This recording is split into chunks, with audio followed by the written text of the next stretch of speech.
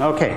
Buongiorno tutti. Hello, everybody. So my name is Markku Huotari, and I work as a GIS specialist in Helsinki public transport, and I'm going to give you a broad presentation of what we've done with OpenStreetMap lately. So let's get started right away.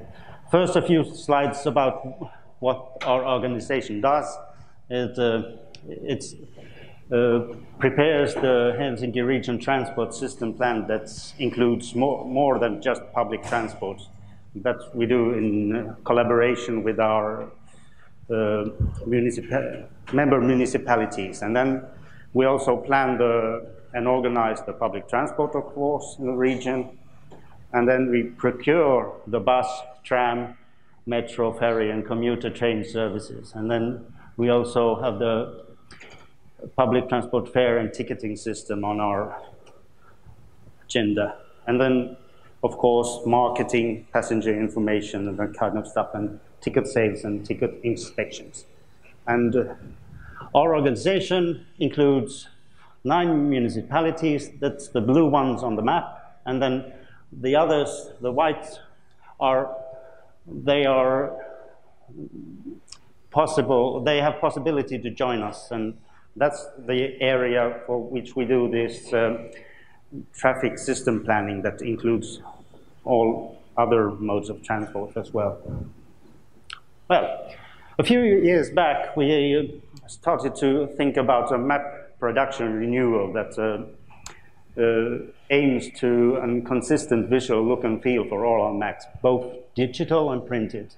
And uh, also, we try to keep in mind that our processes would be systematic and effective, reduce manual work, and uh, try to increase the ability to react on fast on changes. And one key element was uh, to start use OSM as the main data source for all our maps.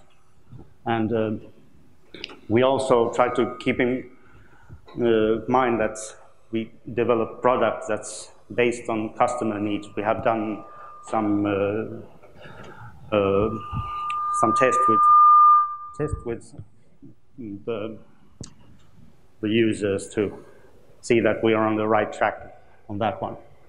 And then we also have a, uh, besides this map production renewal, we're renewing our public transport register. That's the base for all our GIS data. The uh, routes, the timetables and bus stops and that kind of stuff.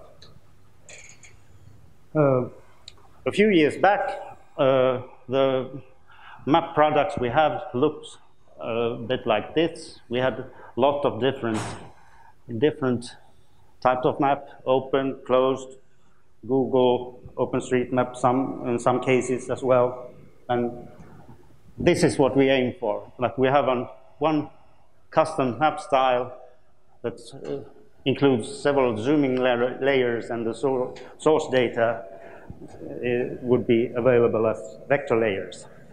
And what we've done, we produced a map style of our own with Mapbox based on uh, OSM Bright template and uh, uh, Finnish, Finland being a multi-language multi uh, country, we offer this uh, map service in Finnish, Swedish, that's the two main languages in Finland. And then we also have a joint where we show both Finnish and Swedish names. This is because uh, we need that on printed maps. So our journey planner can switch when you ch change language. So we can change the from the Finnish map style to the Swedish map style and so on, but we can't do that on printed maps. And this map, map style is available as API, uh, both as a raster background, uh, as tile map service, and map, Mapbox vector tiles for so-called HSL layers, like stops, terminals, vending points, and park and ride sites, and city bike stations, and fare zones as we're renewing them in a few years, so uh, or late this year. So those are coming as well later on.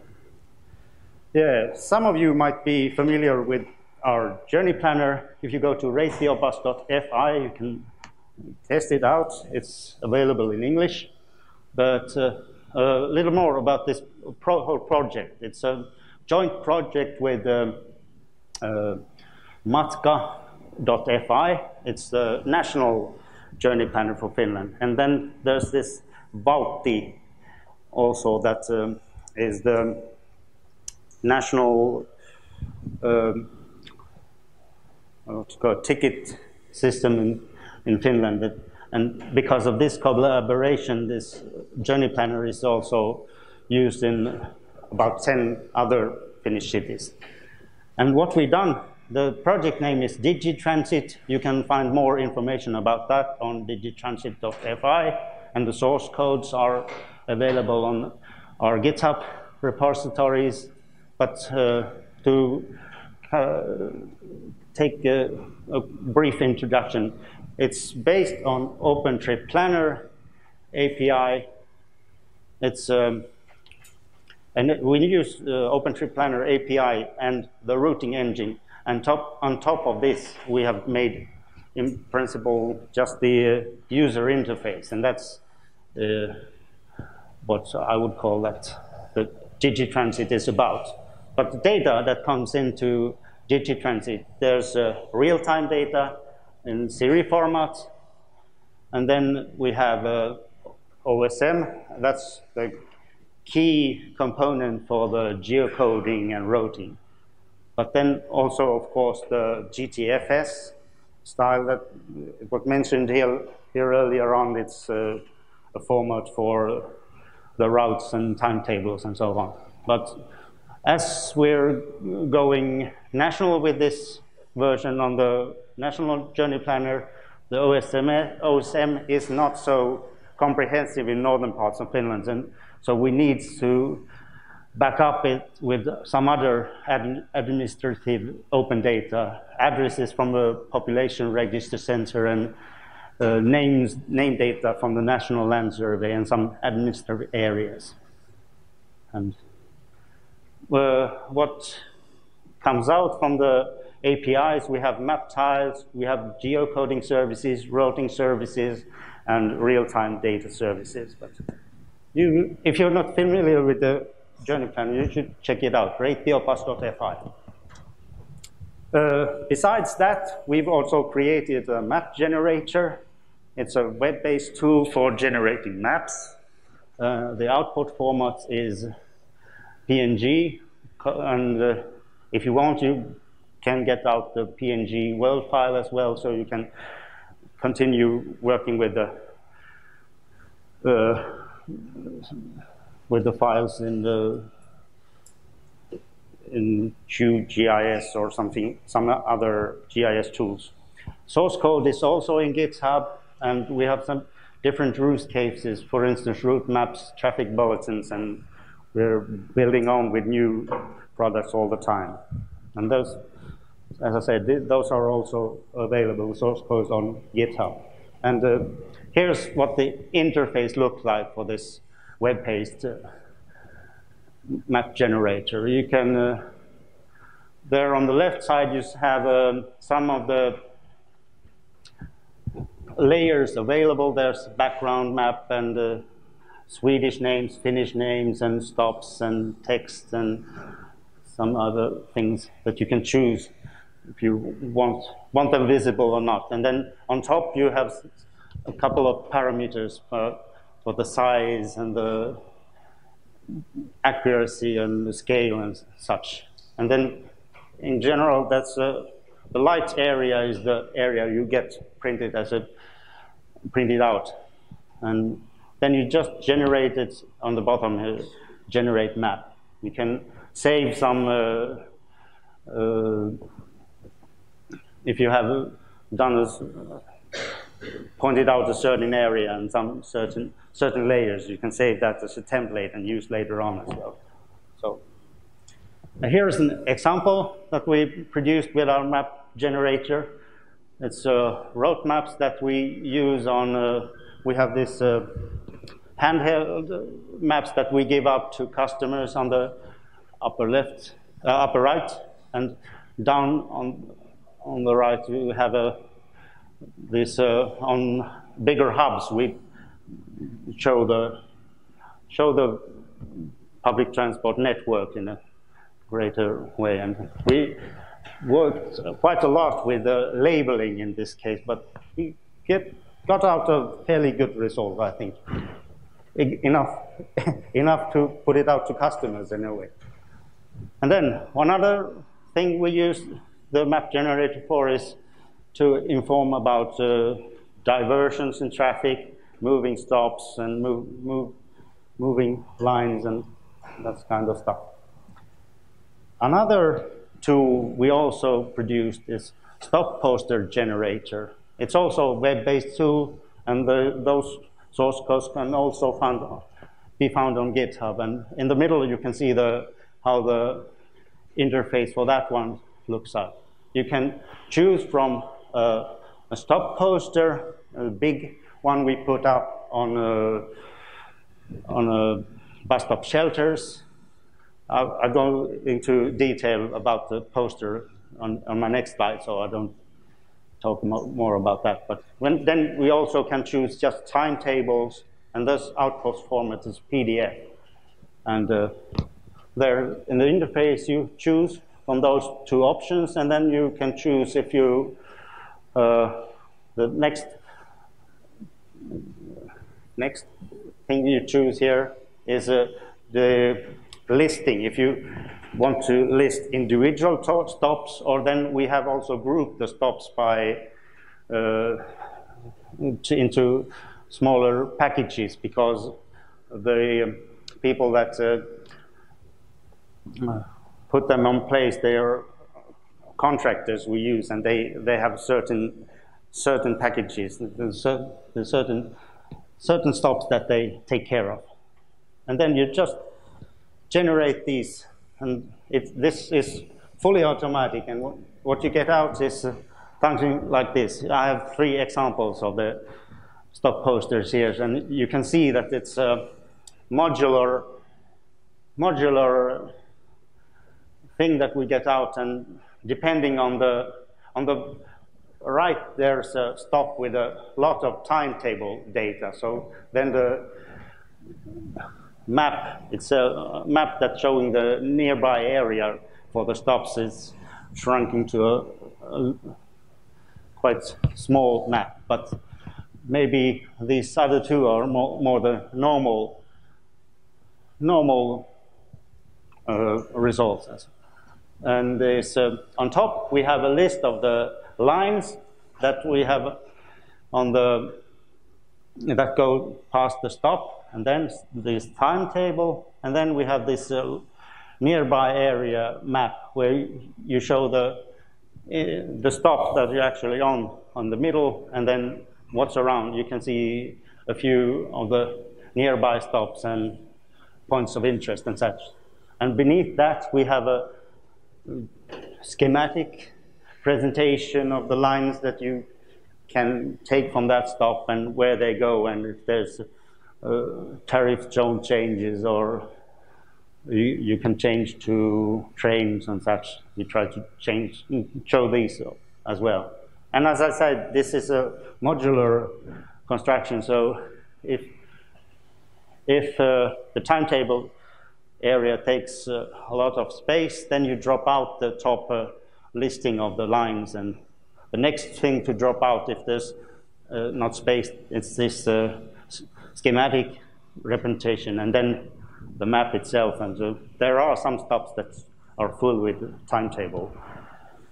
Timetable uh, presentations. And, uh, and this, well, you, you could understand that this posters can only be used when we have space for them, like, like those bus stops where, where there are shelters and that stuff.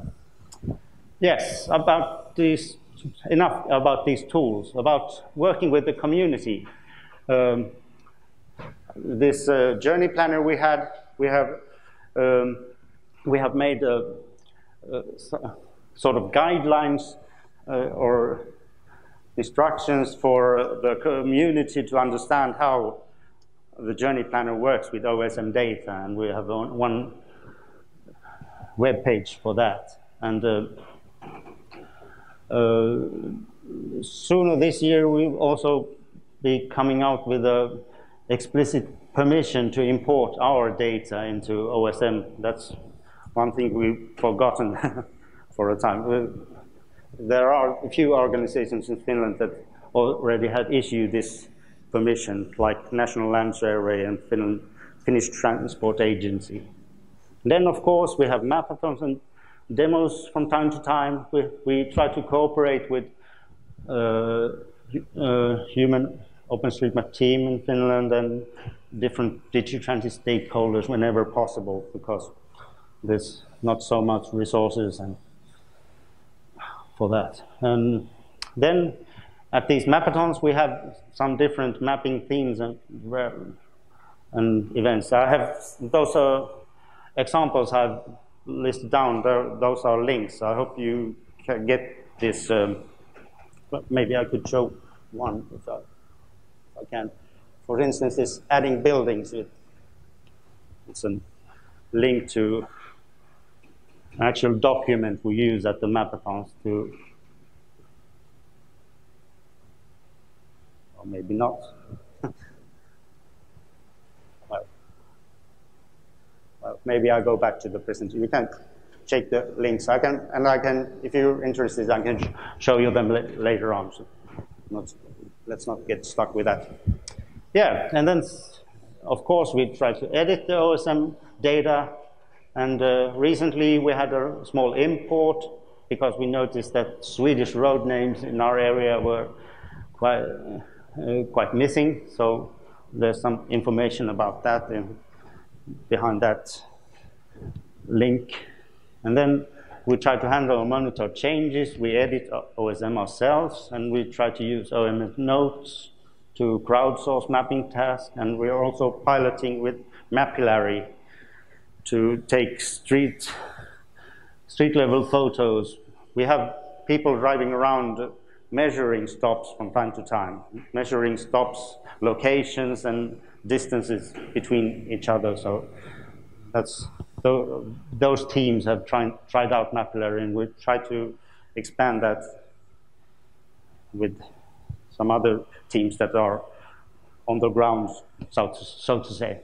And we try to monitor changes as well. We, this is a thing we just began. We tested analytical different engine, and maybe we also should test OSMCha. Haven't done it until now, at least. Validation.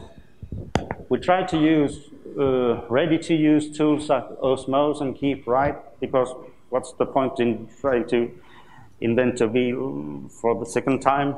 uh, that we can use when we look at the geometry and self, but of course, then we also can compare OSM with other official open data. For instance, our own data or topographic data from the National Land Survey or Digi, DigiRoad is a Finnish transport agency's uh, official open data for the road data in Finland. And I mentioned earlier that we also use the population register center address data for, for the, as a base data for the journey planner. And then there's also a service map data in the Helsinki region for the service meaning uh, municipal services like schools, uh, healthcare, and that, that, that kind of all.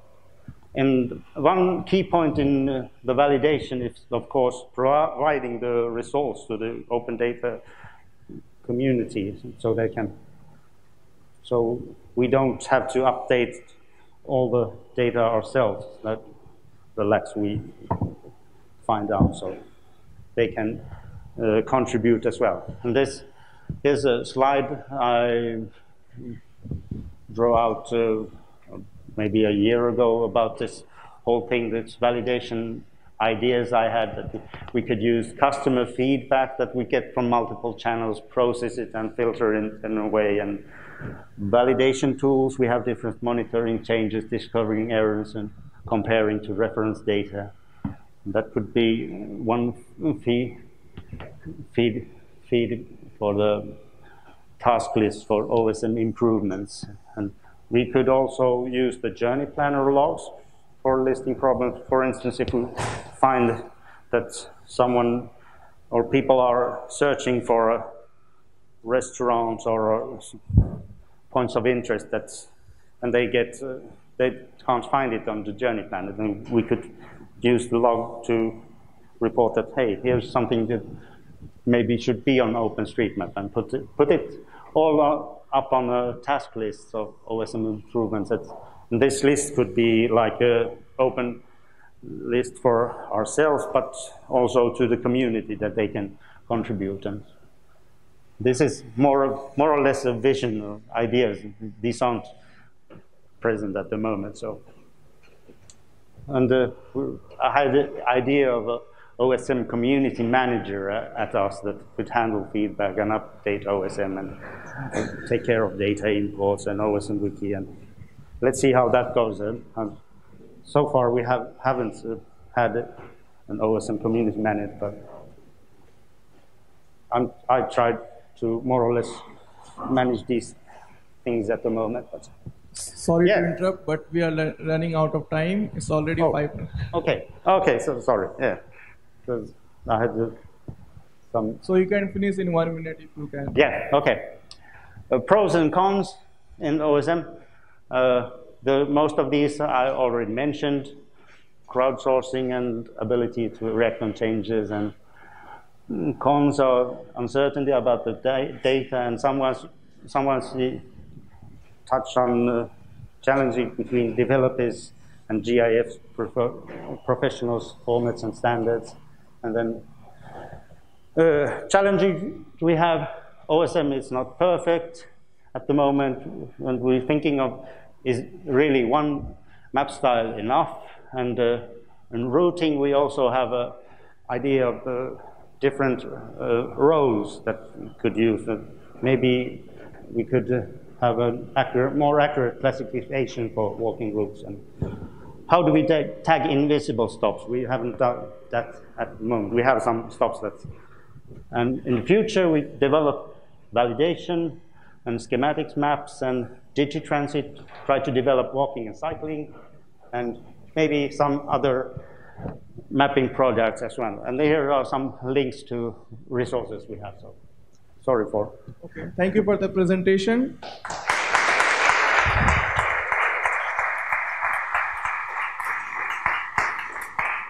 So questions?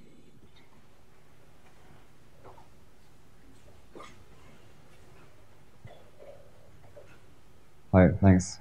Uh, first of all, thank you for your work. I liked it. You're a great role model. I think. I have two questions. Since your tools are open source, did you ever have people actually creating pull requests for features and changes?